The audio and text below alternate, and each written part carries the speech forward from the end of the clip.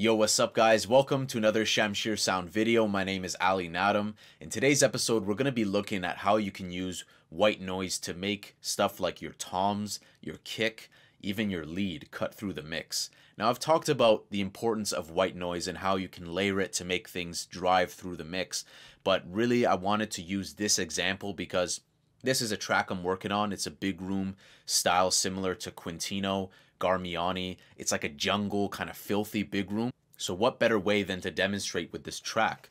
So this uh, type of strategy can be used with anything. If you want to make maybe a percussive loop cut through the mix, uh, whatever it might be, it's involving white noise. In this case, I'm using Massive. So I'm going to show you guys, I'm going to play back the track and I'm going to show you how I used white noise to make the kick cut through, the tom, as well as the lead and you guys can implement it however you like. So let's just play back this drop.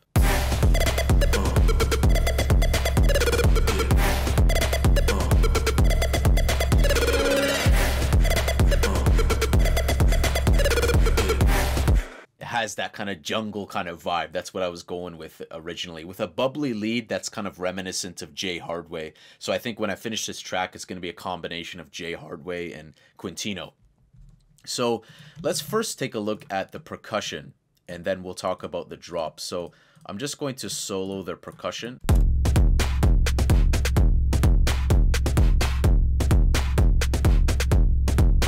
Now check it out without the top kick noise.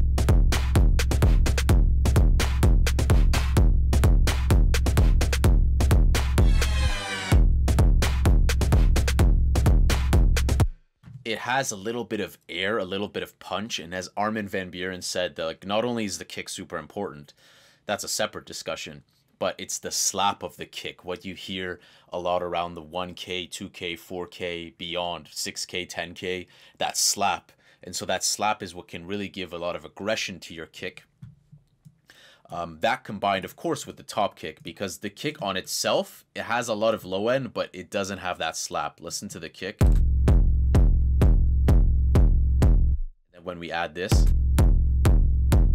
with the top kick noise gives it that spike.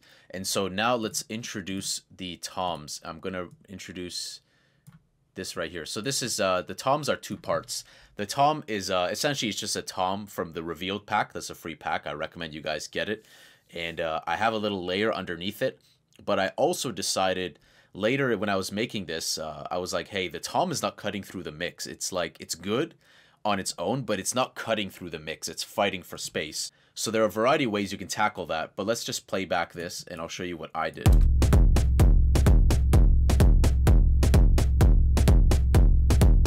So that's with the top tom noise. Now let's turn off the top tom noise.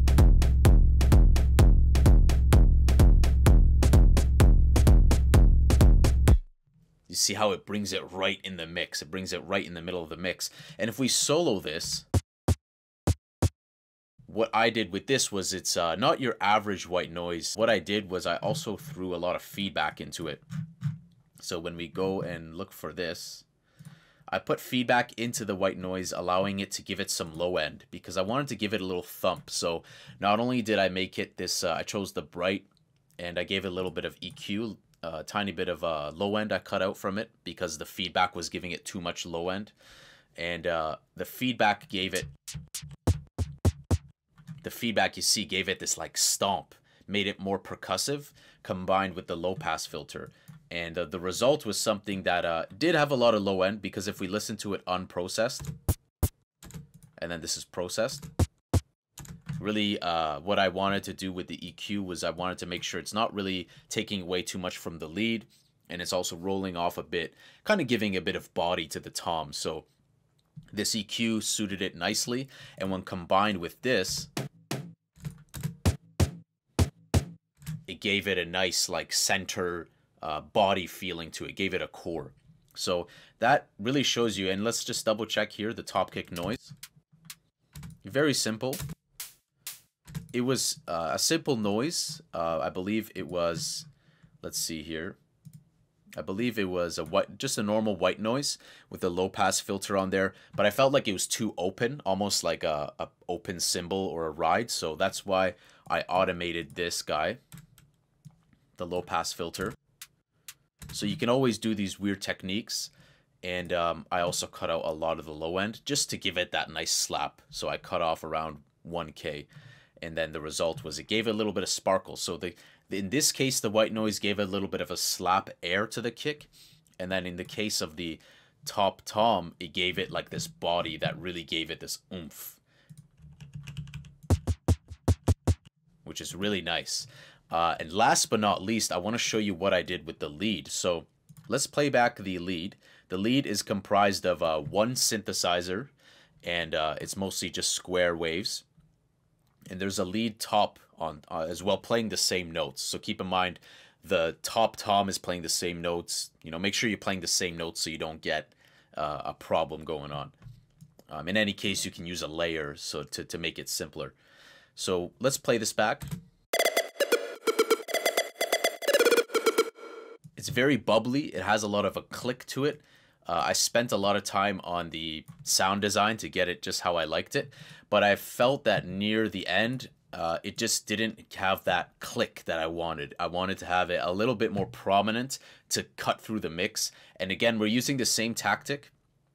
In this case, um, if we go to lead top, very simple.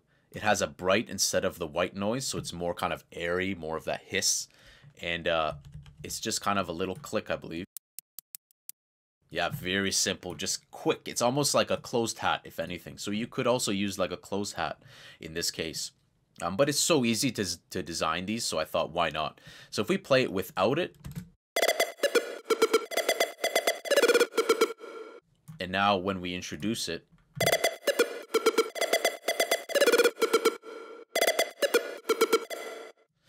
you see how it gives it that click, and that's what will help you guys making it cut through the mix.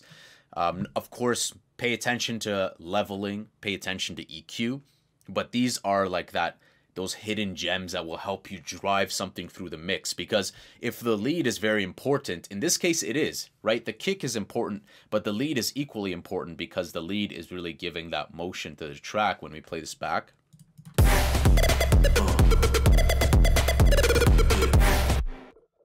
So because of that i want that lead to have that click to make sure it cuts through the mix and it's heard uh, more. So definitely guys incorporate this tip. I wanted to show you like a real world example something that i'm actually working on so that you guys can uh, kind of see what what works for you. If you guys are using massive a lot go to the white noise go to the bright uh, eq it and shape it. It's really about the shaping and really about the filter and and finding where it fits in the mix but this strategy will help stuff and elements cut through the mix much easier and let them be heard. Because if I turn off all of these, I'm going to turn off the lead top noise. I'm going to lead turn off the uh, lead top and I'm going to turn off the top kick noise. So these, they've been turned off. All right, and then when we turn them on, it's quite a profound difference. It really makes them pop out and really makes them shine. But without sounding like I put white noise, they sound like they're glued. Then the normal listener will will just hear it as one lead.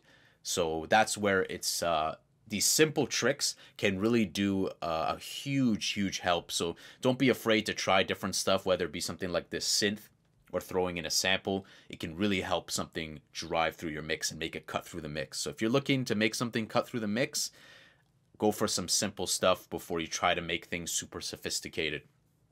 So I hope you guys enjoyed this video. I'm really excited to finish this track. This track is next on my bucket list. So if you guys enjoyed this video, remember to smash that like button. Uh, remember to hit that subscribe button because I got some more juicy stuff lined up. And uh, I will see you guys in the next video. Until then, keep making some dope beats, keep making them gains, and have a great day. Take care.